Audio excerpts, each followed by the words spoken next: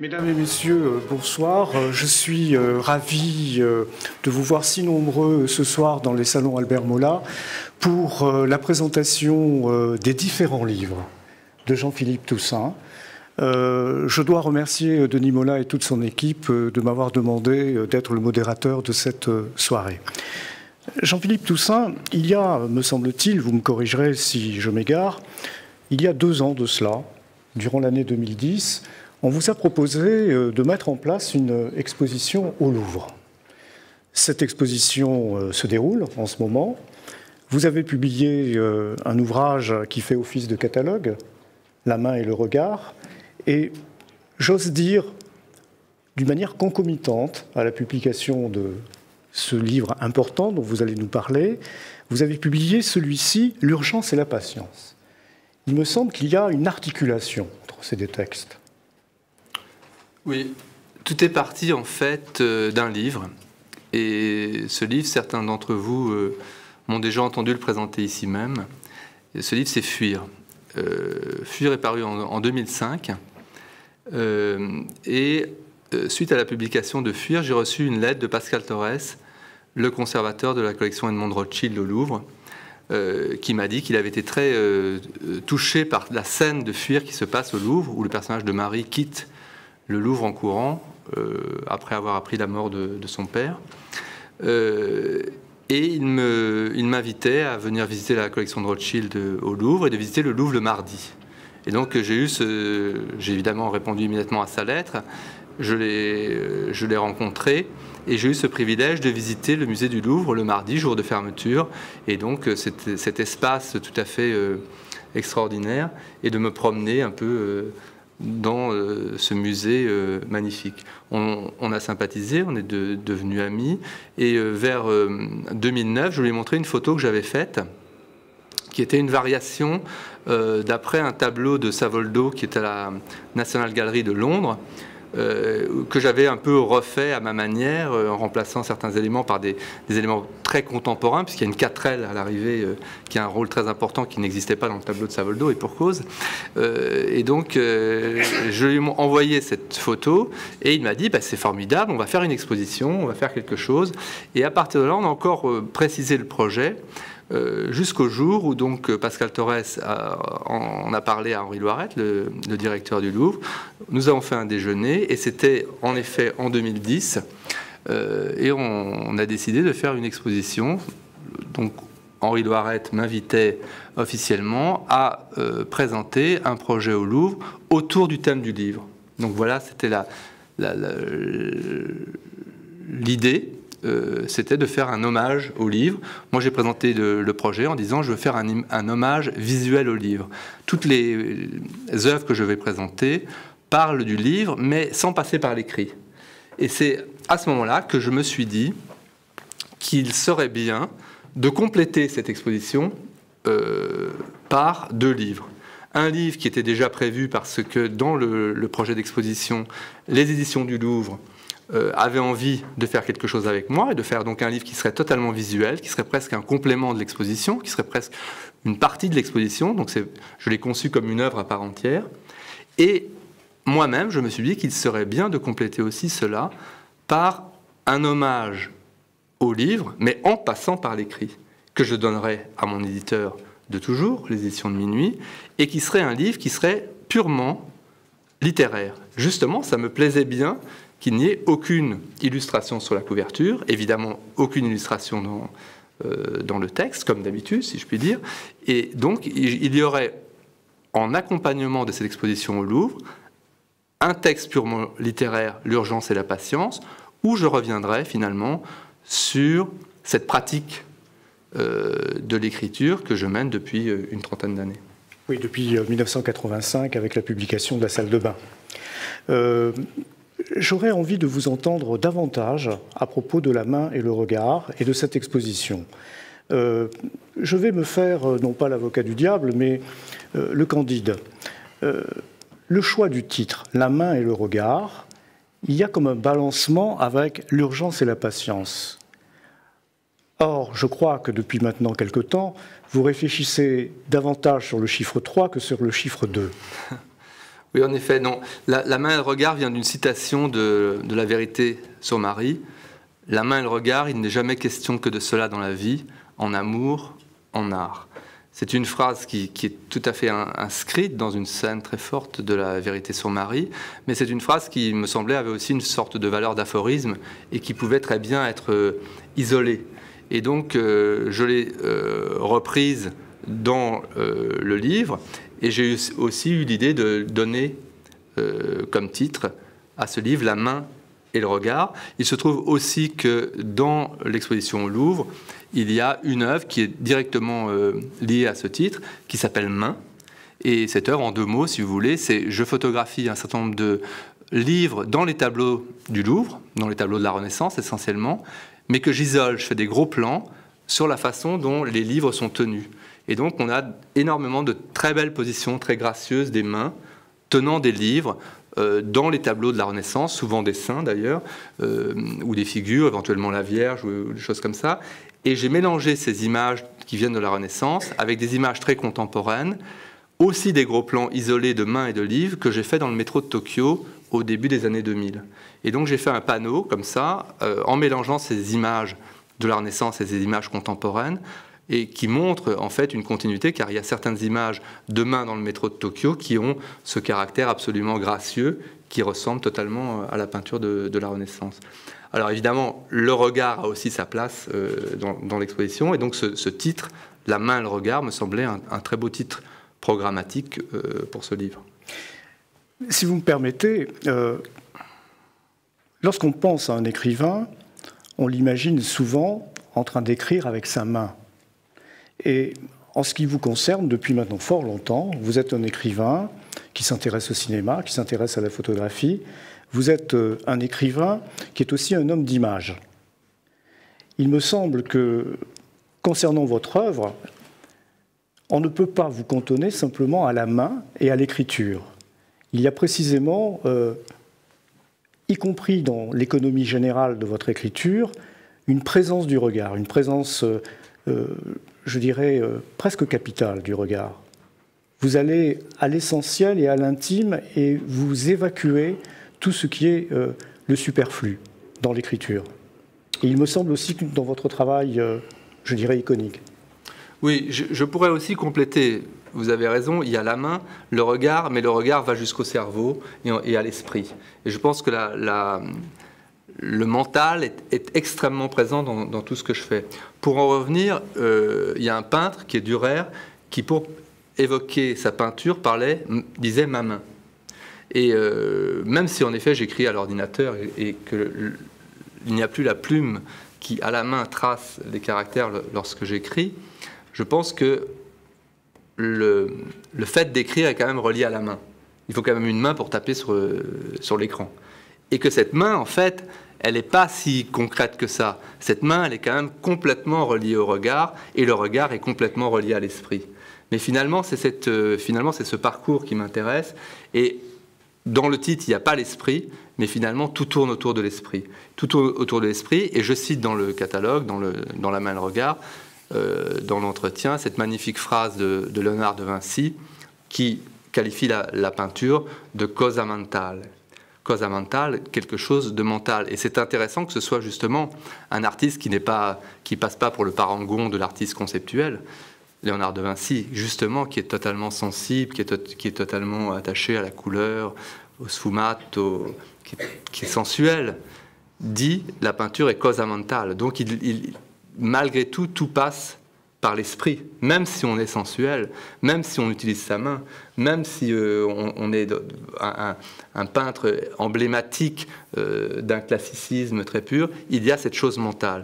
Et moi, c'est une des choses qui me, qui m'apparaît de plus en plus combien toutes les activités artistiques, que ce soit l'écriture, que ce soit le cinéma, que ce soit le, travail plastique, passent toujours par le mental. Que finalement, il y a comme une sorte de, de chambre noire intérieure, qui est l'intérieur de notre esprit, dans lequel tout s'organise. Et par rapport à l'exposition du Louvre, il y a deux ans, donc, on m'a proposé de faire une exposition au Louvre, qui est euh, quelque chose d'absolument exaltant, de, formidable, euh, presque d'inespéré. Enfin, je veux ne veux pas me sous-estimer, mais, c'est extraordinaire qu'on vous confie comme ça, librement, quatre salles de l'aile Sully, euh, et où on, me dit, vous pouvez faire ce que vous voulez, des vidéos, des installations, des photos, totalement contemporaines.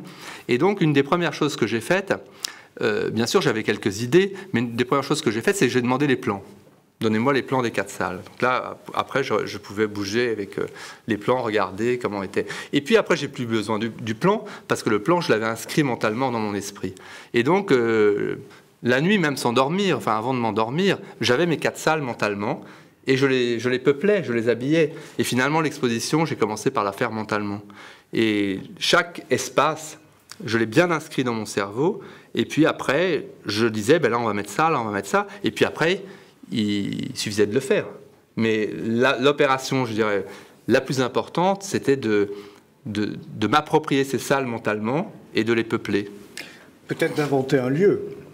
Alors, d'inventer un lieu avec la seule contrainte qu'il y avait un lieu réel à habiter quand même. C'est-à-dire que si euh, je devais quand même tenir compte d'une certaine réalité. Mais euh, finalement, cette réalité n'était pas si contraignante que ça et me permettait de donner libre cours à toutes mes fantaisies, euh, à, à tous mes fantasmes et à tout ce que je voulais développer. La, contrainte de la réalité n'était pas vraiment une contrainte, était presque quelque chose de un, plus. Euh, oui, un ressort supplémentaire. Voilà, pratiquement. Pour vous permettre peut-être, si, si, je vous entends bien, si je vous comprends bien, euh, ce lieu réel, vous vous l'êtes approprié. Voilà, je me le suis approprié d'abord mentalement. Ensuite, j'ai présenté le projet de plus en plus affiné. Mais la première esquisse était, ressemblait déjà beaucoup. Je pense que si euh, il y a un an et demi, je vous avais déjà présenté l'exposition, j'étais pas loin du résultat euh, actuelle. Évidemment, il y a des choses qui devaient être affinées, il y a des choses qui devaient être précisées. Euh, travailler au Louvre, c'est extraordinairement exaltant, mais c'est une, une, machinerie extrêmement lourde à déplacer et il y a énormément de réunions, de préparations euh, et chaque chose. Bon, par exemple, une des propositions que j'ai faites, c'est une grande composition photographique. L'exposition tourne autour du thème du livre et j'ai eu l'idée de déplacer un nombre considérable de livres de la collection Edmond Rothschild, qui sont des livres rares, des livres précieux, des livres des incunables, dans la salle Molien. La salle Molien, c'est la grande salle où il y a le tableau La mort de Sardanapale, où il y a le radeau de la Méduse. C'est une des très belles, magnifiques salles du Louvre. Et je me suis dit, je voudrais euh, déplacer, comme faire une pyramide de livres anciens dans cette salle Molien. Premier point. Mais je ne voulais pas m'arrêter là après avoir fait cette pyramide de livres, je voulais mettre un échafaudage devant le tableau La mort de Sardanapale et qu'il y ait quelques installateurs du Louvre sur cet échafaudage avec leurs casques. Et puis je voudrais aussi descendre un tableau des Simès, par exemple les femmes d'Alger, si ça ne vous dérange pas, vous le descendez. Et pourquoi pas le bouger un peu sur la droite si c'est possible. Bon, euh, voilà. Et puis j'aimerais bien un agent de surveillance ici et pourquoi pas euh, le responsable euh, du département encadreur, le, le, chef encadreur d'Orure voilà. Et puis, et puis voilà. Alors, bah, bon, moi, je, viens avec euh, mon matériel photographique, euh, évidemment un ou deux assistants, parce que c'est quand même un peu lourd pour faire tout ça. et puis tout ça, c'est fait. Bon, il y a eu quelques réunions, mais tout ça s'est fait. Et à un moment, j'étais là, et un peu comme au cinéma, on a dit, ben, on, fait action et pour que ça bouge, pour que ça prenne forme, pour que chacun trouve sa place. Et donc ceux sur l'échafaudage euh, faisaient quelque chose de, vraisemblable. Et j'oubliais les peintres aussi, des peintres du Louvre qui, repeignent, qui font des détails euh, d'une plainte euh, le mardi, etc. Ben, Puisqu'on avait enlevé les femmes d'Alger, qu'on l'avait posé sur un traînard, qu'on l'avait déplacé, on pouvait faire quelques raccords sur, sur les cimaises. Et donc les peintres montant sur leurs échelles, en tenue, faisaient quelques raccords. Et moi j'étais là avec mon appareil photo 56 euh, millions de pixels, parce que j'avais évidemment l'idée de faire un grand tableau, enfin une grande composition à l'arrivée, de le cadrer d'une certaine façon, mais j'avais déjà en tête les dimensions de la salle. Et donc je savais que je voulais un format très très très euh, rectangulaire, et la plupart des appareils photos ne font pas une image rectangulaire, donc j'avais un cache mental en me disant que le bas, il fallait qu'il y ait une zone de parquet qui servira à rien, que j'allais couper, mais au moment de la prise de vue, il fallait que, que je, que, je, cadre plus large pour pouvoir ensuite, après, couper euh, un bout de parquet euh, et peut-être euh, un, morceau de la verrière pour avoir le cadre que, que j'avais imaginé. Et puis, ayant fait tout ça, tous ces gens étant, étant, présents, il y a une quinzaine de figurants sur la photo. Je suis parti donc de quelque chose de très documentaire, chacun faisant quelque chose de réaliste pour un mardi au Louvre. La, composition s'appelle Mardi au Louvre. À la fin, ayant réussi à amener tout ça, je leur ai demandé, j'ai donné un livre à chacun, de, mon, de ma pyramide de livres, été chercher un livre, j'ai donné un livre à chacun, et je leur ai demandé de lire. Et à la fin, ils sont tous en train de lire. Et la composition s'appelle Mardi au Louvre, et elle a sa place dans l'exposition sur une décimètre. À l'arrivée, elle fait 5 euh, mètres sur 2 mètres 50, donc elle occupe vraiment entièrement un des murs. Et, et je dirais que je l'avais imaginé mentalement déjà avant de l'avoir fait. Bon, après, il, suffisait de la faire. Mais pour faire tout ça, il a fallu faire toutes ces réunions préparatoires pour déplacer le moindre euh, livre.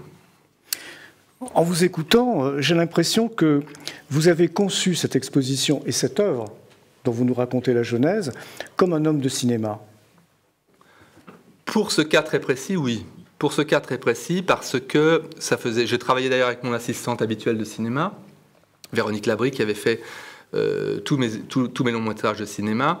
Et c'est vrai que je n'avais jamais, j'avais fait des photographies que j'avais exposées, jamais, jamais, fait de très grand format. Donc euh, je savais que la photo finale devrait faire 5 mètres sur 2 mètres 50. Il y a des, il y a des impératifs euh, techniques. C'est-à-dire que si je prends mon appareil habituel, je ne, je ne, peux pas agrandir la photo pour faire un tirage de 5 mètres. Donc il fallait que je loue un appareil photo euh, extrêmement perfectionné.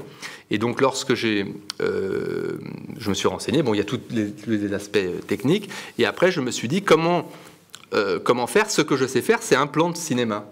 Et donc pour me rassurer presque, puisque je n'avais pas l'image finale complètement en tête, je me disais, je vais il faut que j'arrive à les faire lire. Mais ça, c'est l'objectif. Je ne vais pas commencer en disant, vous vous mettez là et vous mettez comme ça, en train de lire comme ça.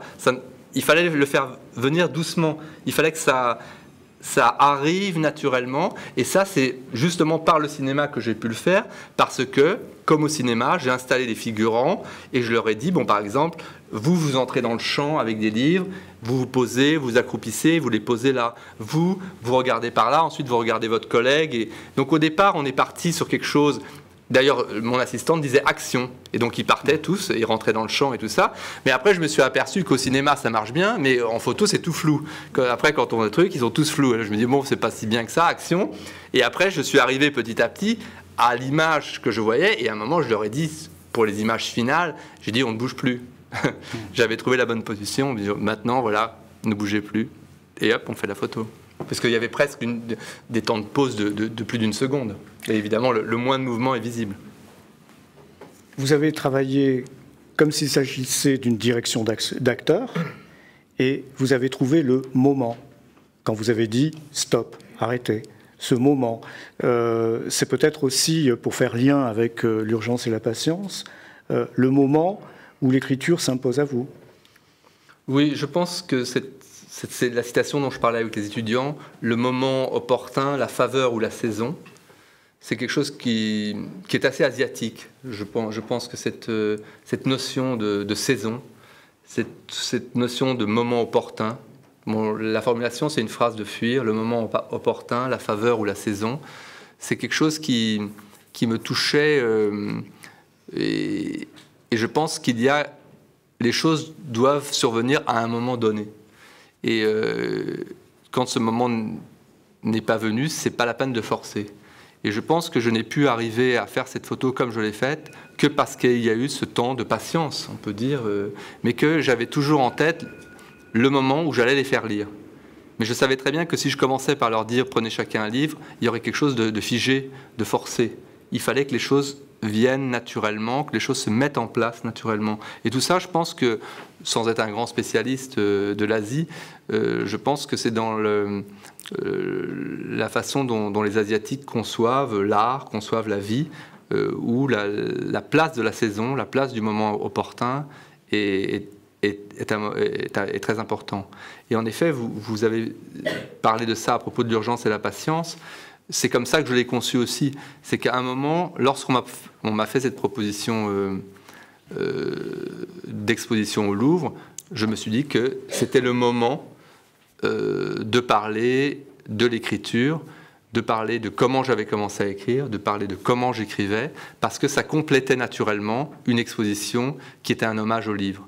Donc je faisais une exposition qui était un hommage au livre, je la complétais par un livre qui était totalement visuel, qui était comme une création, mais en même temps, je disais, par écrit, comment j'en étais venu à écrire, ce que j'avais lu et comment j'avais écrit. Et donc c'était un moment où, où je me retourne un peu sur mon passé et je pense que le moment était venu, que ce n'est pas quelque chose qu'on fait quand on commence à écrire, mais que là, à 50 ans passés, ayant cette consécration de, de cette exposition au Louvre, le moment était venu de me retourner, de me pencher sur ce que, sur ce que j'avais fait et de rendre hommage aux écrivains qui m'avaient euh, le plus influencé, qui m'avaient sans doute permis de, de devenir ce que je suis devenu. Si vous m'accordez, euh, je voudrais que nous restions un instant supplémentaire sur euh, cette question du moment. Euh, chacun sait que vous êtes allé souvent en Asie, vous êtes allé au Japon notamment, vous avez séjourné à Kyoto.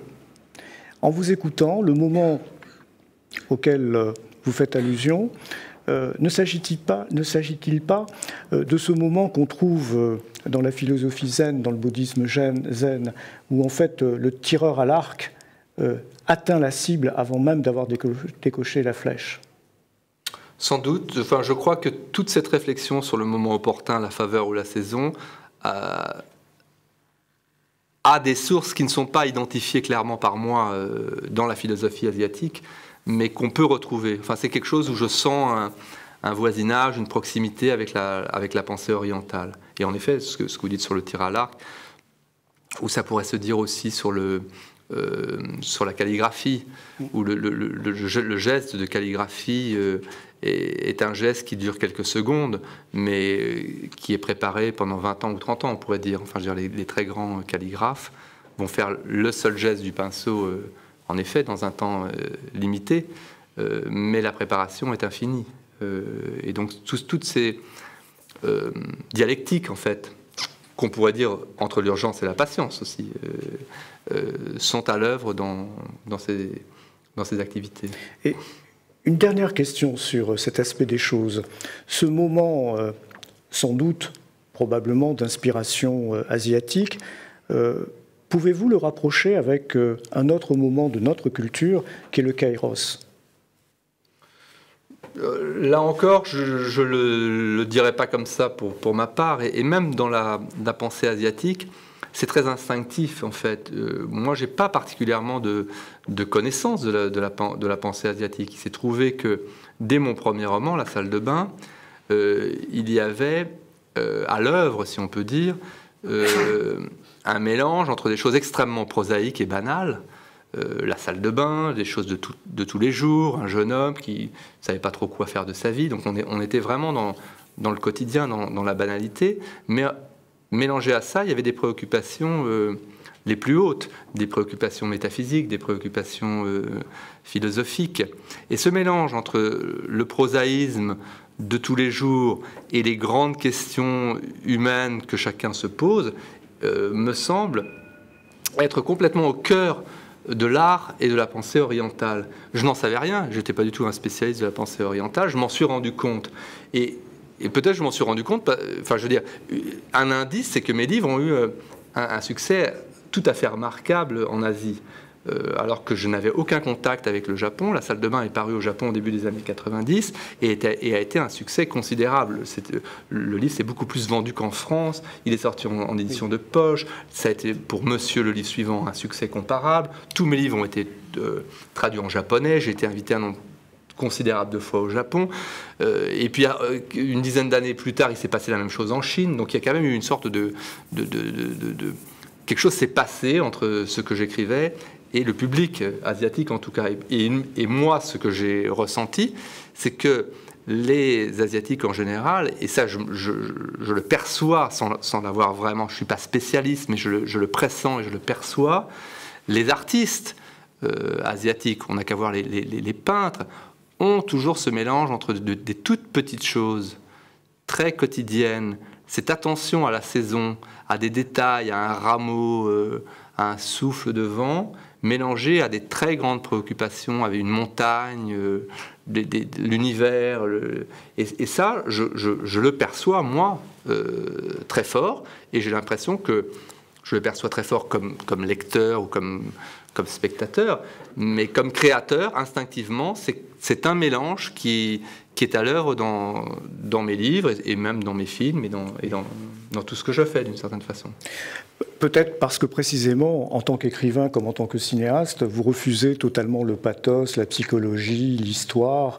Euh, votre l'accent euh, pour vous euh, doit être mis essentiellement sur la forme, sur le travail de la forme, sur le rythme de la forme. Oui, ou, ou, pour le dire différemment, sur le quotidien, sur ce qui nous touche tous, sur une sorte d'universalité du, tout petit, l'universalité de l'infinitésimal, l'universalité de, des petites choses de la vie et l'universalité des plus grandes choses de la vie, du sens de notre présence euh, sur la Terre, de la place de la Terre dans l'univers, donc des très grandes préoccupations. Et ce mélange, en fait, de l'infiniment petit et de l'infiniment grand, euh, pour moi, est, au cœur de ce qui m'intéresse.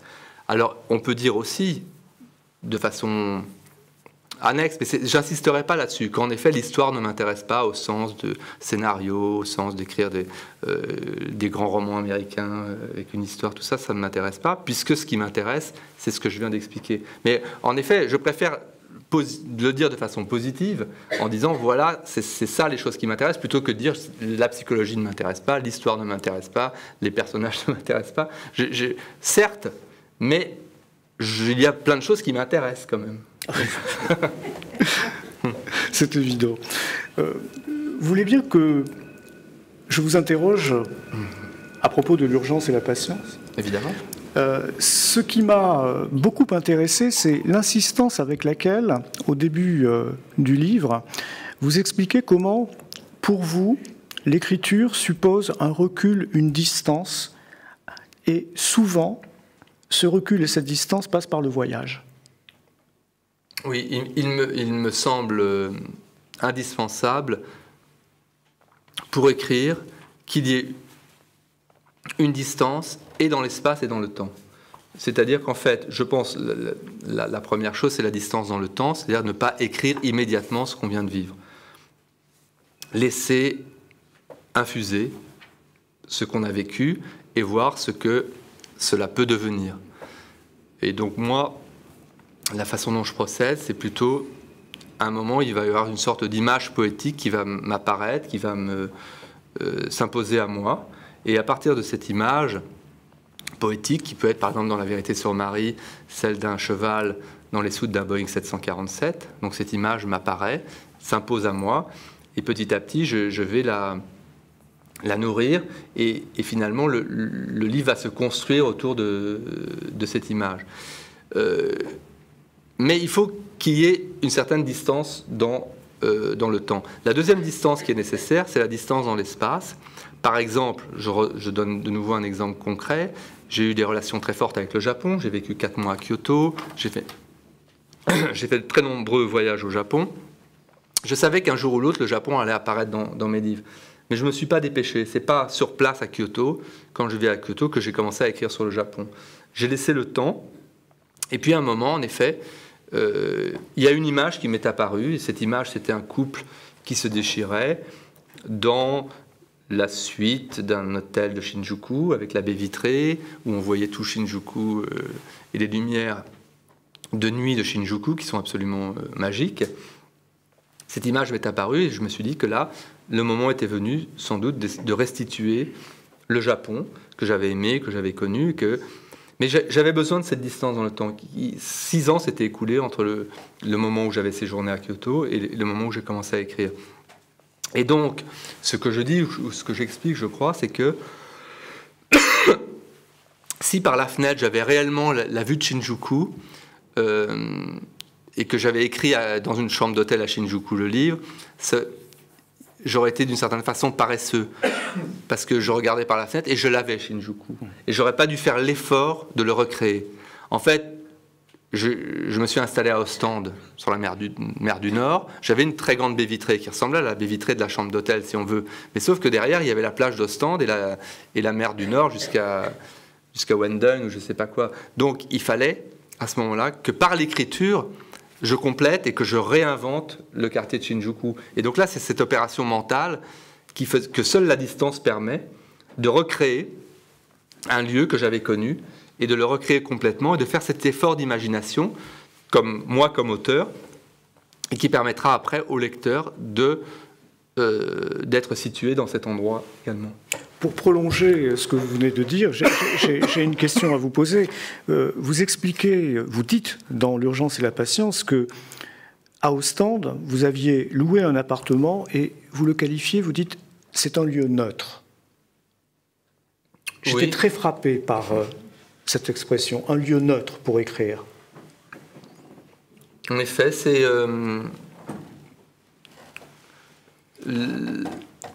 qui n'est pas lié à mon histoire, c'est-à-dire qu'en fait, c'est un, appartement de location. Donc, je, fais la, métaphore du Bernard Lermite. Hein. Je, viens m'installer euh, chez quelqu'un d'autre. Et en effet, c'est rien dans cet appartement n'est lié à mon, histoire, à mon, intimité. Euh. et donc, finalement, c'est l'endroit idéal pour moi euh, pour, reconstruire, réinventer euh, une, intimité, un décor, un lieu. Donc je ne pourrais pas l'expliquer mieux ou davantage. Instinctivement, ce type de, d'endroit me convient parfaitement. C'est des, endroits neutres. Des endroits neutres pour réinventer et s'approprier les lieux que vous avez pu voir Neutre au sens où tout est à refaire. C'est-à-dire qu'en fait, c'est, une, c'est un peu comme une, on peut dire une page blanche pour faire une métaphore connue, une toile blanche, euh, tout est à construire, puisque rien ne me relie euh, à l'endroit, par exemple. Mhm. Donc c'est neutre au départ, et c'est à moi de l'habiter, et de l'habiter mentalement aussi. Voilà, aussi, je reviens toujours à cette métaphore euh, mentale, puisque rien ne me relie affectivement à, ce lieu, toutes les connexions que je vais faire mentalement seront nouvelles et, pourront avoir une force euh, euh, inédite. Euh, et donc, mentalement, je serai disponible pour accueillir tout type d'émotions et il n'y aura aucune interférence avec ma propre histoire ou ma propre, ma propre vie, puisque c'est un lieu neutre. Mais en même temps, je vais quand même utiliser ma propre intimité, mais, mais moi, pas, pas l'extérieur en fait. Il me semble aussi euh, frappant, je crois que vous avez utilisé à trois ou quatre reprises depuis que nous conversons ensemble euh, l'adjectif mental. Et, je n'ai pas fini, à mon avis, je vais encore l'employer.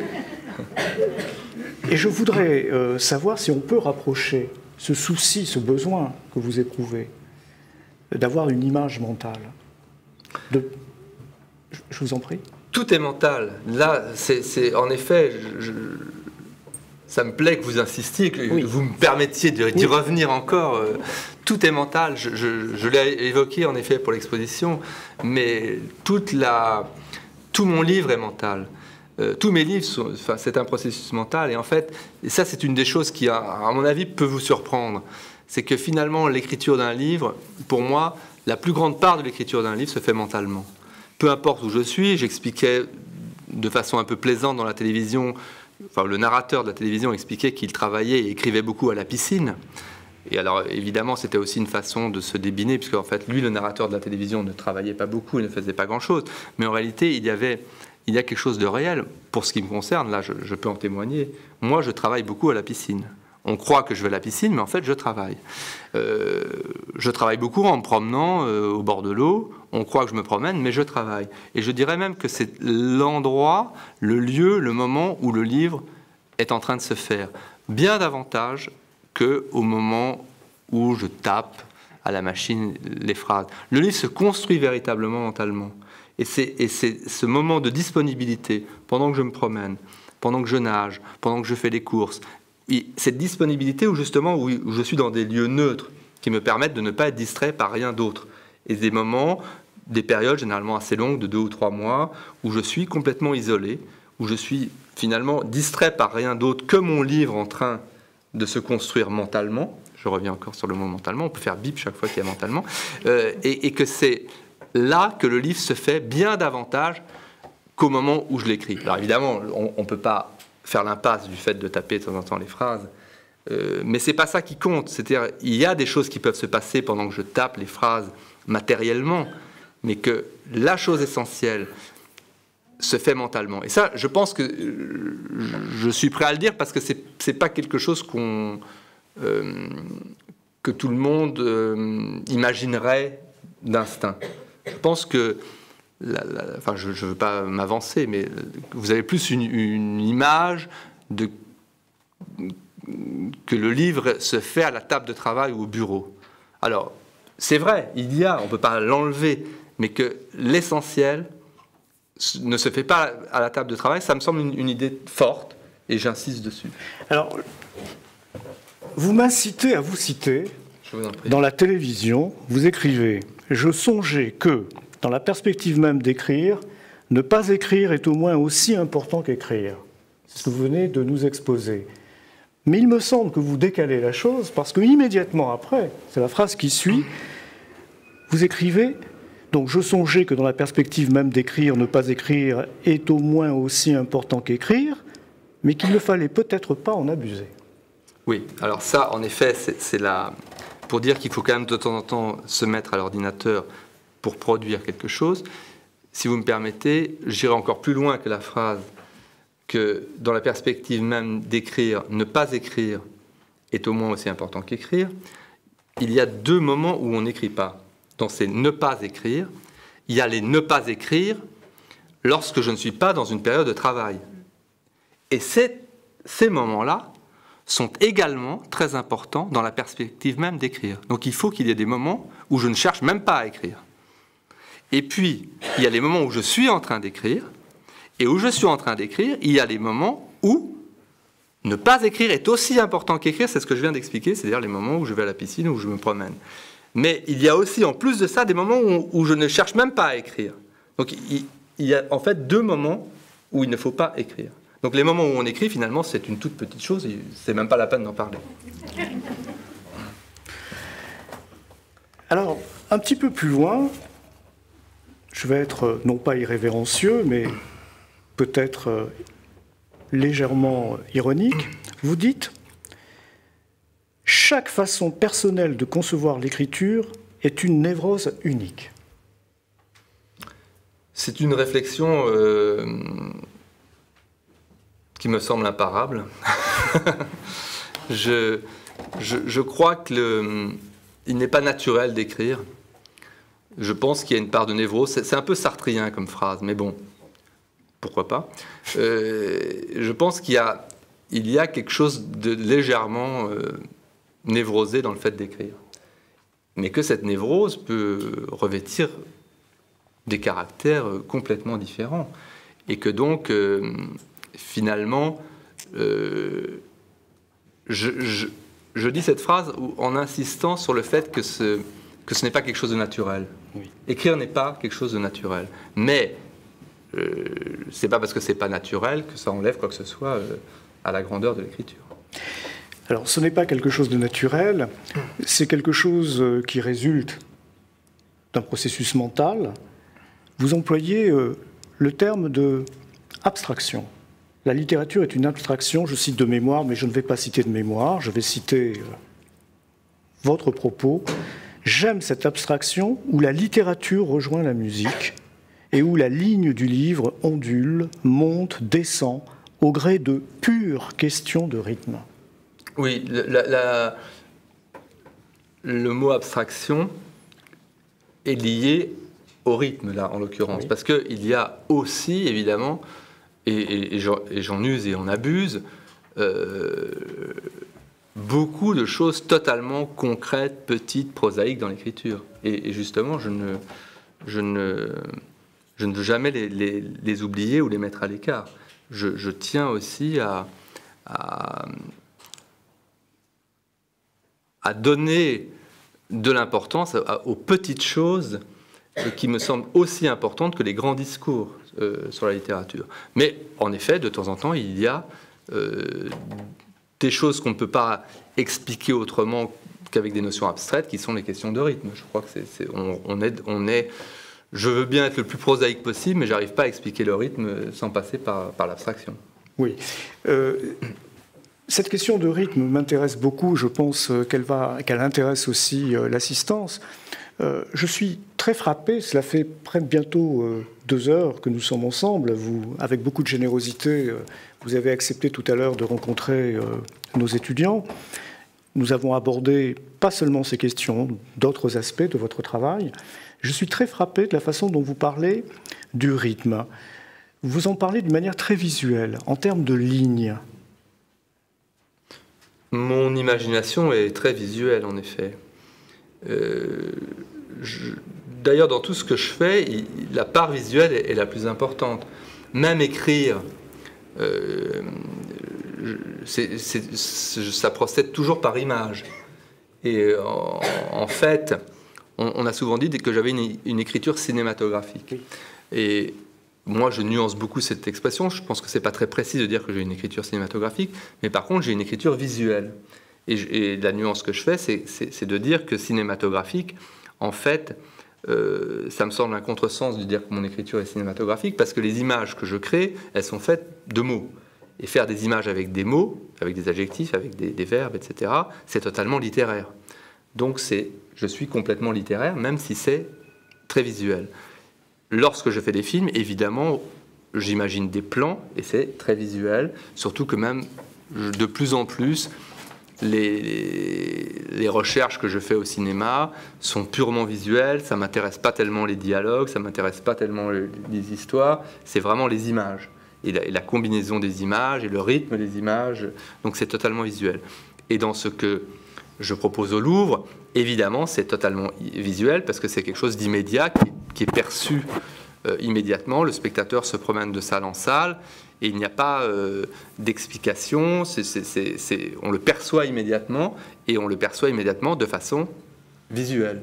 Donc c'est vrai, euh, on, peut dire que toute mon activité est à la fois mentale et visuelle. C'est-à-dire que chaque chacune des pratiques euh, que je fais, je l'imagine mentalement, et que c'est presque toujours, des, presque toujours des images. Mais, mais chaque image a sa spécificité. C'est-à-dire qu'une image littéraire est, est, faite de mots et est complètement différente d'une image cinématographique et est complètement différente d'une image dans une salle d'exposition. Donc ce sont des... Parce que le, le, monde des images est varié et, et, et presque infini également. Si je vous ai bien compris, Lorsque vous concevez un film et lorsque vous l'écrivez, vous l'écrivez en images. Euh, en fait, je nuancerai parce qu'il y a longtemps que j'ai plus conçu un film de, cette façon-là. La dernière fois que j'ai écrit un scénario original, ça remonte à assez longtemps, c'est La patinoire. Mhm. Euh, il y avait quand même une, idée de scénario, il y avait quand même une idée, puisque c'était c'est une comédie. Euh, euh, j'avais quand même une envie de faire un film comique, ouvertement comique, dont le but était de, faire rire, de, de, revenir aux racines du cinéma muet, des chutes, des gags, des choses comme ça. Donc il y avait, il y avait un concept. Euh, et, les images, il a fallu les créer, elles, ne sont pas imposées à moi, je les ai construites. Euh, là aussi, on peut dire, ça c'est une chose, lorsque j'écris, on peut dire que c'est une image qui, vient en premier. Par exemple, l'image d'un d'un pur sang dans les soutes d'un Boeing 747. L'image peut, peut, me venir, mais je dirais que l'image, elle n'est pas encore complètement visuelle. Il faut que je fasse l'image, comme dit Beckett. Voilà, l'image est faite. Donc il faut que l'image, elle est d'abord, elle est un peu dans les limbes. J'ai cette image d'un cheval dans le Boeing 747, mais ce n'est qu'au bout de six mois de recherche que je vais vraiment vous faire l'image. Et que si vous me lisez, vous aurez vraiment la soute du Boeing 747, vous aurez vraiment le cheval à cet endroit-là. Vous allez vraiment avoir la nausée comme le cheval. Et, la nausée du cheval fait partie de l'image. Mon image, elle est, vous voyez, elle n'est pas, pas purement visuelle, elle est complète.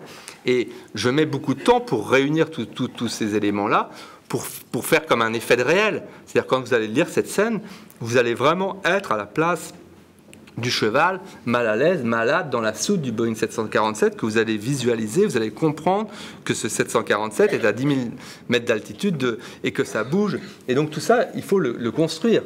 Donc l'image, elle ne m'arrive pas toute faite. Moi, elle n'est pas. Euh, je passe après beaucoup de temps à faire l'image. Alors, je prends un risque terrible.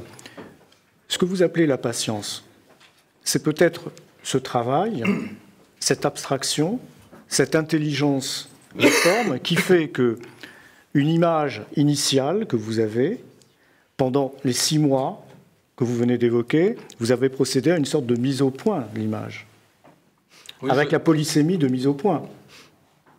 Je veux bien accepter votre comparaison que, laisser la place à l'urgence, c'est pouvoir accueillir cette image, mais qui n'est pas complète, et que c'est la patience qui va, la, qui va permettre euh, de la compléter.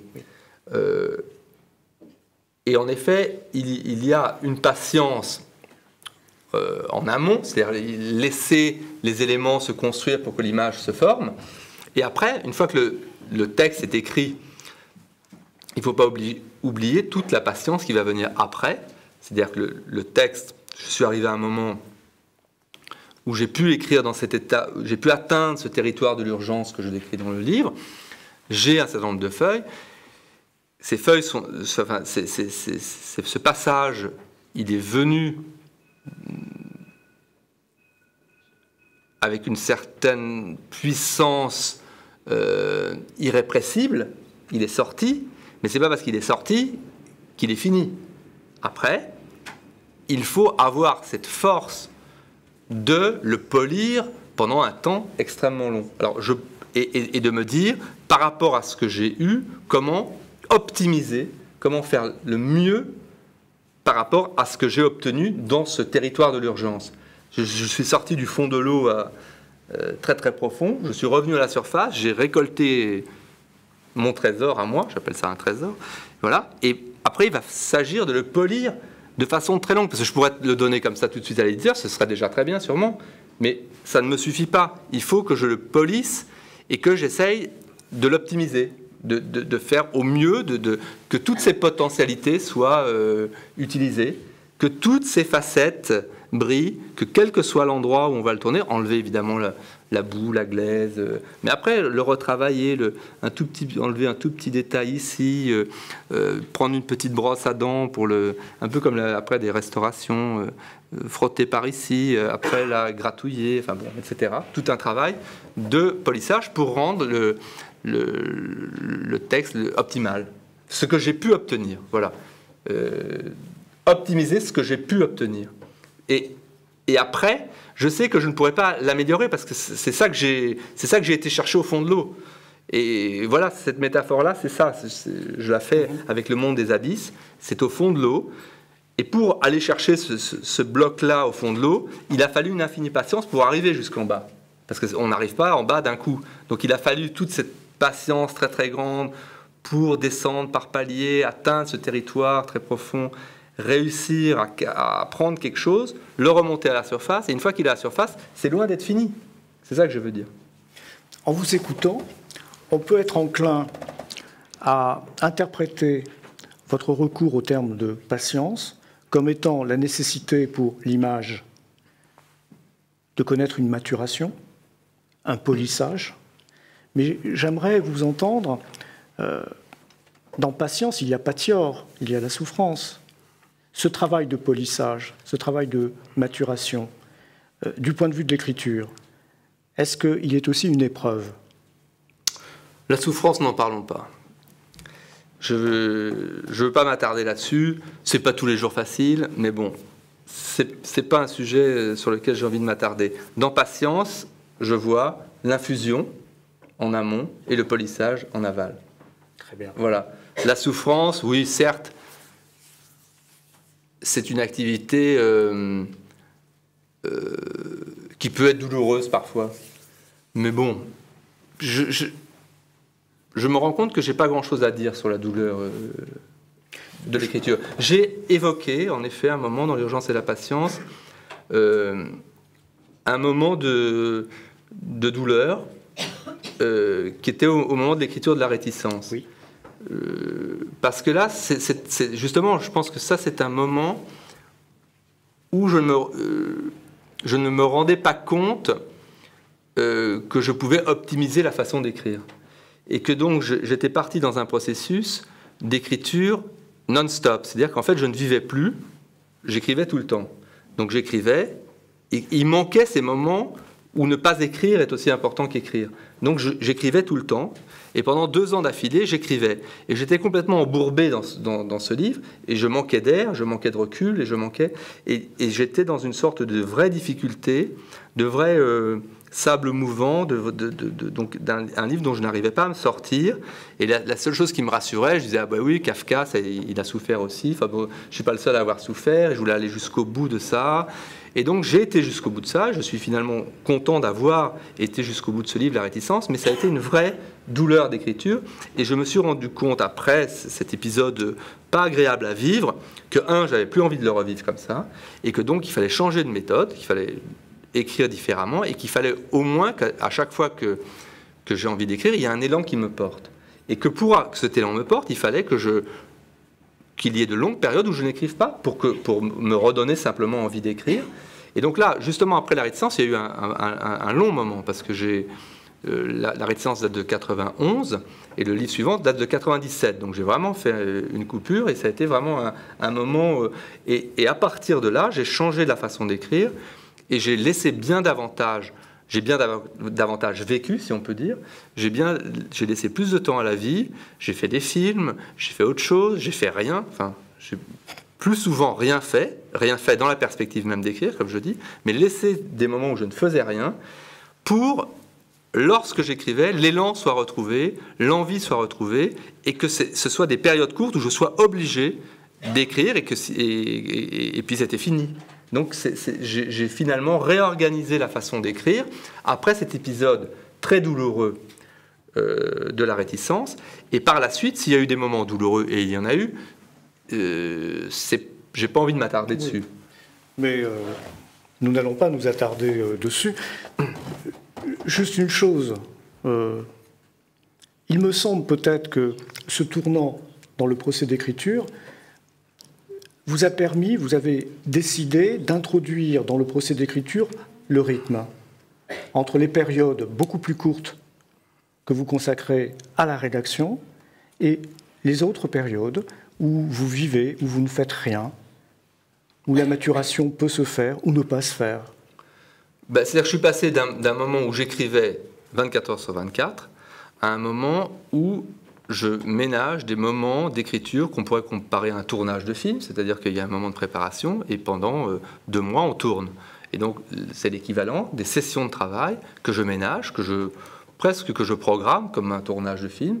Et je me dis bah, de, mai à, juillet, je, vais me mettre à écrire, donc comme un tournage. Et, donc je réfléchis euh, avant et je sais à peu près où je vais, j'accumule de la documentation. Pas, c'est pas aussi euh, précis qu'une préparation de film, j'ai pas euh, tout, euh, j'ai pas un plan de travail très précis, mais quand même c'est le même type d'idée. Et, pendant ces trois mois, je suis complètement en immersion. Et c'est la métaphore, je, je la fais en immersion dans le livre. Et après, je remonte à la surface et de nouveau, je vis et je laisse le livre. Alors l'autre chose qui a été que je cite, c'est la, la, façon dont Titien euh, travaillait, donc il, travaillait, il peignait ses tableaux, et puis il les retournait contre le mur et il les laissait deux ou trois mois euh, sans les regarder, et puis il les retournait et il, regardait ses toiles comme si ça avait été ses ennemis mortels. C'est une métaphore que fait un, autre peintre, et j'adorais cette histoire, qu'il il essaye de, de, de, se désolidariser. Et, d'avoir son esprit critique le plus... Euh, euh, aiguisé pour, pour critiquer le travail, son travail comme si c'était celui d'un autre. Et, de le, et, ça, j'adore ça. Et j'essaye de procéder comme ça, c'est-à-dire que j'écris des, des, des, passages pendant les sessions de deux ou trois mois, puis je ferme, je les regarde plus, et puis je vais les relire trois ou quatre mois après avec un, un regard méchant, euh, critique. Euh, et puis je dis, ah oui, non, ça c'est pas mal, mais bon, ça, ça va pas du tout, et boum, boum, je barre et tout ça. Très, très, très. Euh, et, ça, je pense que c'est très important de, le. De, ménager, de, de, pouvoir réussir à, à laver son regard d'une certaine façon, d'essayer d'avoir un regard neuf, même si c'est un peu artificiel, parce qu'on n'a pas complètement un regard neuf, il y a quand même des, des, des, strates successives, on sait bien que c'est... Je ne peux pas oublier complètement que c'est moi qui l'ai écrit, mais j'essaye, je fais semblant que, que je le découvre. Je dois vous dire que tout à l'heure, lorsque vous avez euh, évoqué euh, les conditions de travail et les circonstances dans lesquelles vous avez mis en place l'exposition au Louvre, on sentait une grande jubilation, un grand bonheur. En effet, en effet, c'était bah, le fait qu'on m'ait confié cette le fait qu'on m'ait permis de faire cette exposition, euh, ça a été extrêmement exaltant. Ça a été euh, deux ans euh, où, on peut dire que presque tous les jours j'y pensais.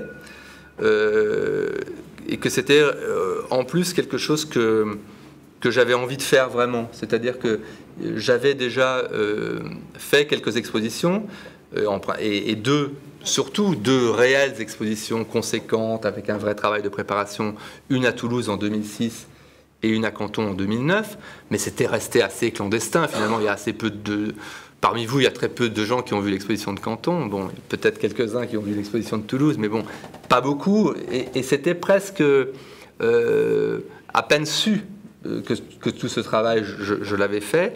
Et pour moi, c'était euh, finalement comme des débuts, sauf que c'était à la fois des débuts et, une consécration, puisque c'était les salles du Louvre. Et donc c'était euh, un moment, en effet, euh, il y a eu une période pendant deux ans là où j'ai mené de front le projet d'exposition, l'écriture de euh, l'urgence et la patience, parce que le texte, j'ai ménagé justement un, grand moment pour écrire ce texte de l'urgence et la patience, celui où j'évoque vraiment le, le, texte qui porte le titre L'urgence et la patience. Je l'ai écrit récemment, c'est pratiquement le dernier texte que j'ai écrit que j'ai écrit spécialement. J'ai fait une préface pour Autoportrait à l'étranger, une préface inédite. J'ai préparé le livre La main et le regard. Euh, ça m'a pris quatre mois de façon intensive. Les photos dont je vous parlais, c'est aussi beaucoup de travail parce qu'il y en a eu deux ou trois comme ça. Euh, j'ai mis au point aussi une installation avec euh, où je fais intervenir des vues de mon propre cerveau, une vidéo que je monte, enfin tout ça. Pendant deux ans, j'ai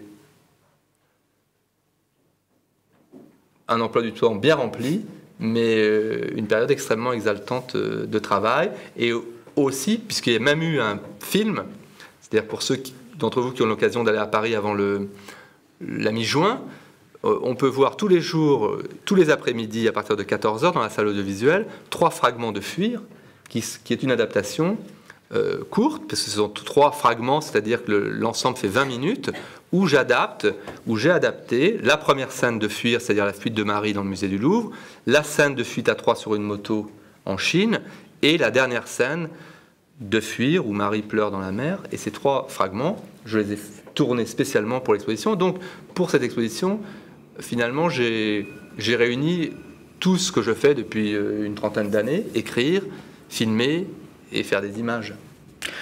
Jean-Philippe Toussaint, je vous remercie. Je, me permets de rappeler à l'assistance que vous avez en fait trois livres qui viennent d'être publiés euh, La main et le regard, L'urgence et la patience et la réédition de Autoportrait à l'étranger avec un inédit. Avec un inédit et une préface. Merci euh, Jean-Philippe Toussaint. Merci beaucoup.